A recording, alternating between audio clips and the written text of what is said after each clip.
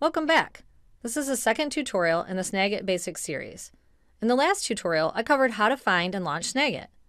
In this one, I will show you how to capture an image with Snagit and place it in an email to share with others. To start, find something you want to capture. I found this cool rocket launch image. Snagit will capture anything on your computer screen. It can be a program, an error message, anything. To start, look for the red capture button at the top of your screen.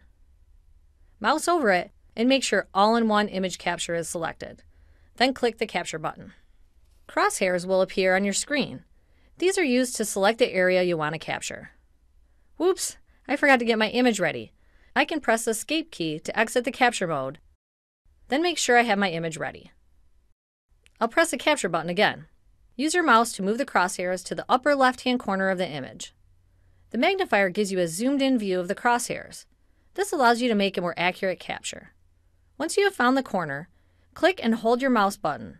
Drag over the desired image until you reach the lower right-hand corner. Then release your mouse button.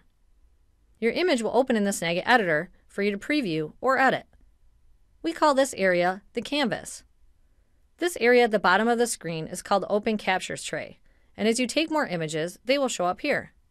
At the top of the screen, there are tabs, and each tab has a different purpose.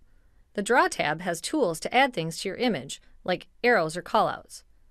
The Snagit's basic tutorial on adding a callout will show you how to do that. Let's click on the Share tab. This tab has many options for sharing your captures with others. For this tutorial, we are going to select the Clipboard button to copy this image to the clipboard. Now open a blank email. I am using Outlook, but you can use whatever email program you wish. Place the cursor in the body of the email and press Ctrl V at the same time.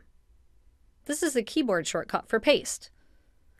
Note, some email clients do not support images in the email body. Your image will be pasted into your email, and all you need to do is add an address and send it. Now that you know how to capture an image and share it using Snagit, you can move on to the next tutorial in this series, adding a callout. We hope you found this tutorial helpful.